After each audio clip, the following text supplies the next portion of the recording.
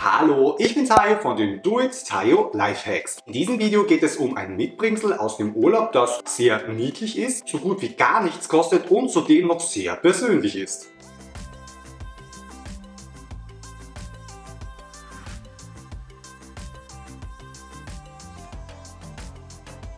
Wer würde sich nicht über so ein quasi Live-Sandstrand-Feeling freuen? Hm? Ich nehme mir aus jedem Urlaub, allein schon für mich selbst als Erinnerung an diesen schönen Urlaub, eine kleine halbe Liter Flasche Sand aus dem Urlaub mit.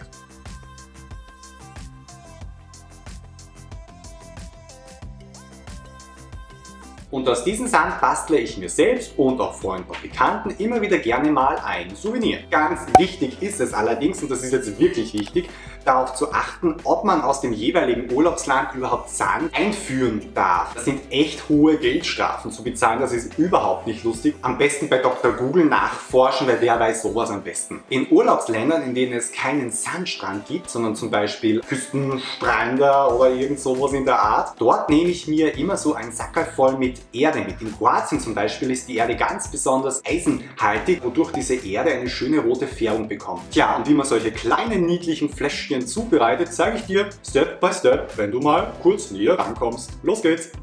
Als allererstes benötigst du Sand, die Quintessenz des Mitbringsel-Dingsbums. Als nächstes brauchst du irgend solche Glasfläschchen, am besten mit Quark.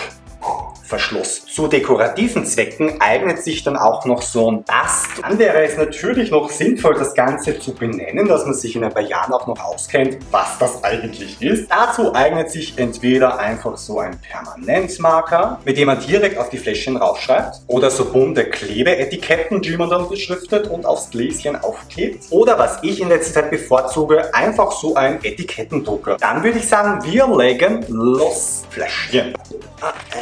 Mit Hilfe dieses Trichters wird dann Sand eingeschüttet. Ich mache das immer so zwei Drittel voll. Bastband wird zur Hand genommen, so nur ungefähr ein Stück abgeschnitten. Dann wickle ich das immer so rundherum, Knoten drauf, zweiten Knoten. Dann löse ich gern die Enden so ein bisschen auf. In mehr Seefahrer-like. Jetzt Etikett gestalten. Ich entscheide mich diesmal für den Etikettendrucker. Ich verwende hier den Dyno, das ist keine Schleichwerbung, also keine Sorge. Ich bin mit dem einfach sehr zufrieden und ich finde, der klebt gut und die Etiketten gibt es überall sehr günstig zu kaufen. Der Aufdruck ist lichtecht. Dann schreiben wir Stimmdruck. Abschneiden. Etikett. Fertig.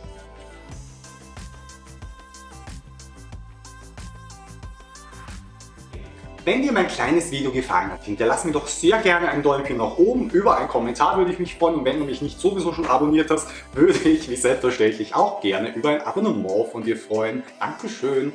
Tschüss, bis zum nächsten Mal.